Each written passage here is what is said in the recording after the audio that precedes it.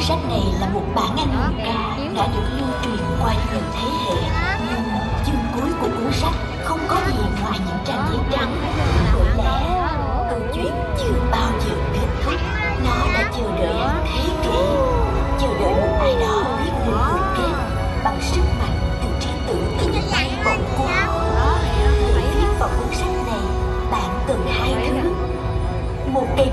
biệt được làm từ lông đuôi của một loài chim huyền thoại, chim phượng hoàng và trí tưởng tượng của bạn. Cuốn sách đã chờ đợi ở đây từ rất lâu rồi, chờ đợi một người trong số các bạn. Nhưng hãy đề phòng một phù thủy. Hàng thế kỷ qua, mụn ra sức săn lùng cây bút làm bằng lông đuôi phượng hoàng này để biến câu chuyện của ánh sáng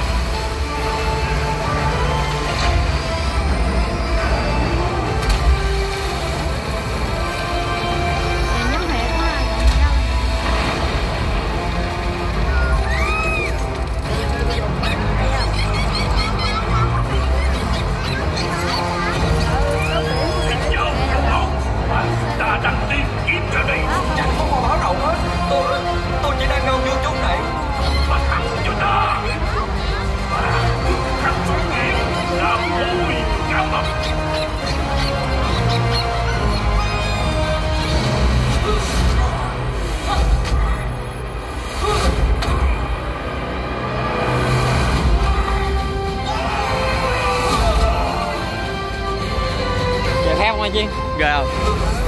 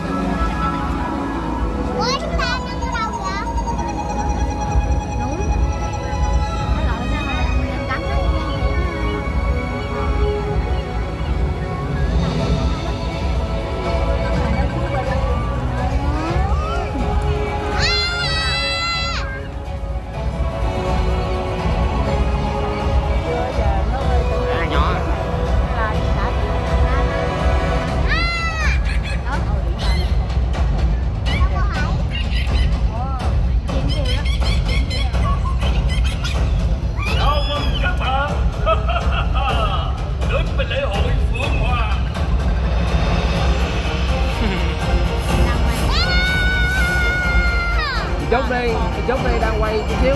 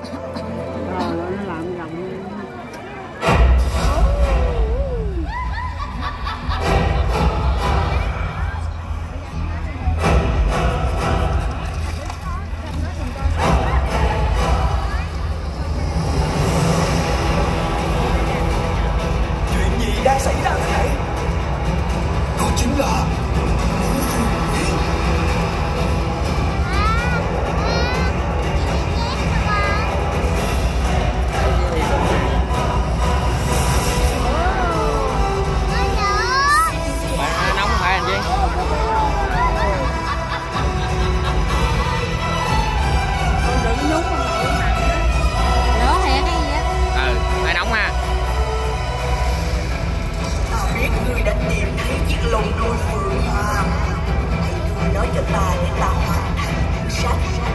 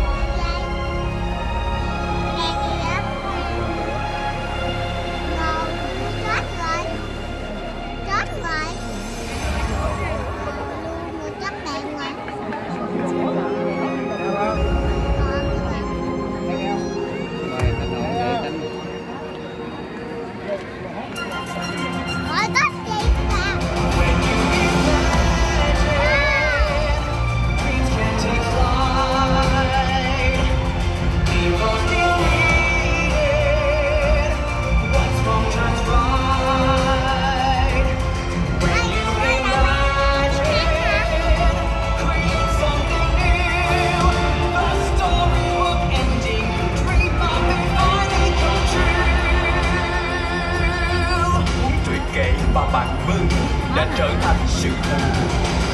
your heart thành to break.